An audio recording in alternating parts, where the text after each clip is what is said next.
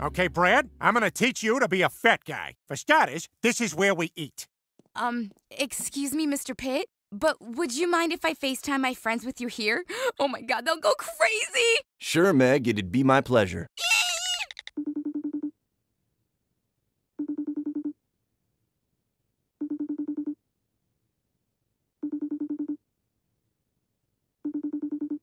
Oh boy. Oh, this this is sad.